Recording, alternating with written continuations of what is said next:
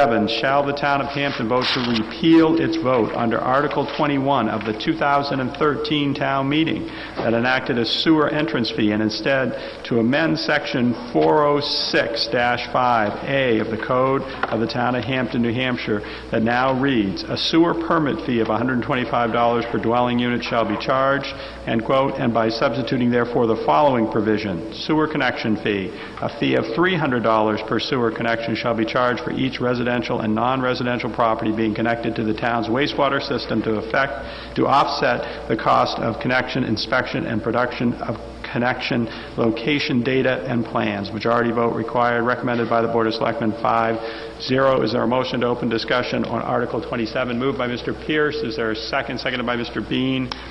Uh, Is there anyone who would like to speak to Article 27? I can speak to it, Mr. Moderator. Mr. Uh, Pierce. Basically, what we're doing here is you can see that the fee was set up several years ago of $125, and uh, by the time we send out town employees and to follow through on all the connection checking and so forth that we need to do to connect the new connection to the uh, our part of the system, $125 doesn't cut anymore, so we've decided to increase that to about 300, which will basically recoup our cost and the time. Thank you, Mr. Pierce. Anyone else wishing to be heard on Article 27? Seeing none, Article 27 will appear on the ballot as printed.